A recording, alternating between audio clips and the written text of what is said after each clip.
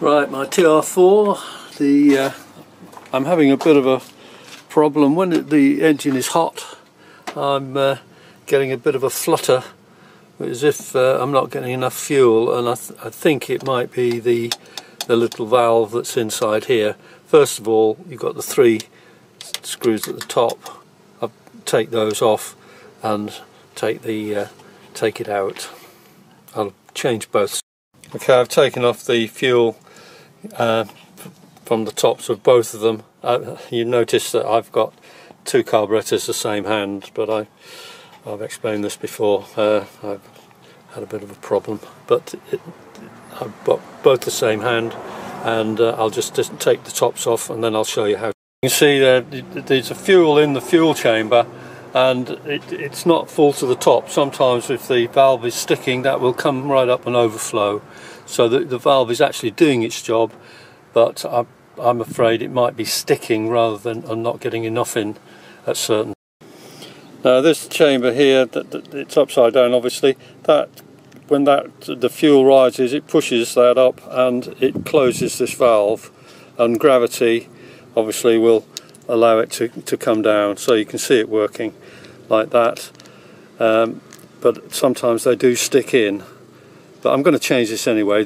What I've got to do now is take this pin out to allow me to take the float off so I can get access to this. Well there's the, there it is there, that you see I just lift that out. You can't get it out without taking the pin out. The point there looks fine, it's, it's a little neoprene, there's nothing wrong with that. Uh, it's probably perfectly alright but I'll change it anyway.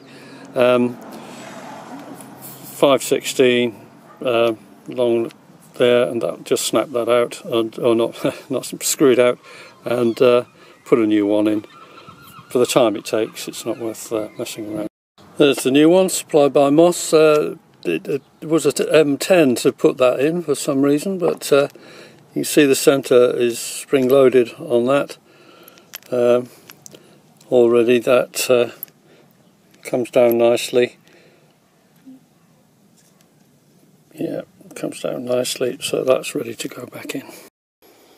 This is the second one out and the second one out and it looks to be sticking a little bit there. That should, I know the, the pressure of the fuel will push, push it out but that is a little bit sticky so I'll change that one I'll obviously change while everything's out it's an ideal opportunity to give it a good clean up while I brush it and uh, polish it up that's um, both back in now. I've started the engine, uh, the fuel is flowing nicely.